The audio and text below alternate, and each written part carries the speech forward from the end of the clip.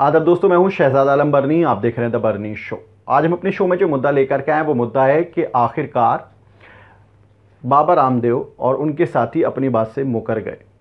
पिछले दिनों दावा किया गया था कि बाबा रामदेव और उनके साथी आचार्य बालकृष्णन की कंपनी पतंजलि आयुर्वेद ने कोरोना की दवाई ढूंढ ली है। इस दवाई को लेकर के देश भर की गोदी मीडिया इसका कैंपेन करने में लग गया। कोरोनिल नाम इसका रखा गया था, कहा गया था कि इसे पीने से बाकायदा इसके दावे किए गए थे कि कोरोनिल का इस्तेमाल करने से 280 लोगों पर इसका ट्रायल किया गया है, जिसमें से तीन दिन के अंदर 69 परसेंट लोग ठीक हो गए थे। उनहत्तर प्रतिशत लोग, जबकि एक हफ़्ते के अंदर 100 परसेंट लोग ठीक हो गए थे। जो काम दुनिया भर के साइंटिस्ट नहीं कर पाए थे, वो काम बाबा रामदेव ने करके दिखा दिया था।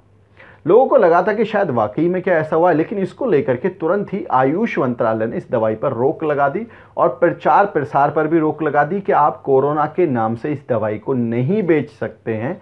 और आप हमें बताएँ कि आपने कौन सी तकनीक इस्तेमाल की है, कहाँ पर प्रयोग किए गए हैं, किस जगह पर प्रयोग किए गए हैं, किन लोगों पर ये प्रयोग किए गए हैं, ये सारी जब जवाब जवाब मांगे गए तो अब संबित, अब जो है, जो आपके आचार्य बालकृष्णन हैं, जो पतंजलि के मालिक हैं बाबा रामदेव के साथी हैं, वो अपनी बात से मुकर गए।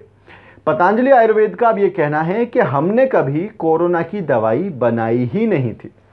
हमने तो इम्यूनिटी बूस्टर के नाम पर जो है, वो लाइसेंस लिया था। इम्यूनिटी बूस्टर मतलब कि आपके अंदर जो इम्यूनिटी होती है, उसको बढ़ाने की ये दवाई थी।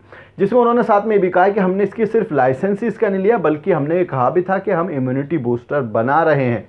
और हमने इसमें गिलोय अश्वगंधा और तुलसी का कंपोजिशन तैयार किया था। उसको मिला करके एक मिक्सचर बनाया था, जिससे इम्यूनिटी आपकी बढ़ेगी और आप कोरोना से ठीक हो सकते हैं। लेकिन सवाल ये बनता है कि क्या कोई इतना सफ़ेद झूठ भी बोल सकता है? जिस तरह के दावे देश भर की मीडिया में देखने को मिल रहे थे, जिस तरह के दावे किए गए थे कि कोरोना को अगर कोई ठीक कर सकता है तो वो पतंजलि की कोरोनिल ठीक कर सकती है। लेकिन जैसे ही अब पता चला कि इसका ना तो कोई प्रयोग हुआ है, ना किसी पर वाकई में प्रयोग किए गए हैं, ना कोई इससे अभी तक ठीक हुआ है।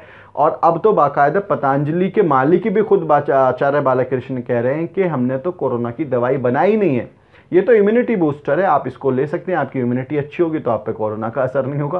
फिर सवाल ये बनता है कि कौन से लोग थे वो जिनको ठीक किया था बाबा रामदेव ने अपनी इस दवाई से? ये अपने आप में एक बड़ा सवाल है।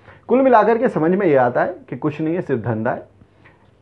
पतंजलि एक, क्योंकि इसको कहीं ना कहीं एक धर्म से जोड़ने की कोशिश की जा रही है, एक जता आयुर्वेद से जोड़ने की, संभाव, भाव, भावनाओं से जोड़ने की इसको कोशिश की जा रही है।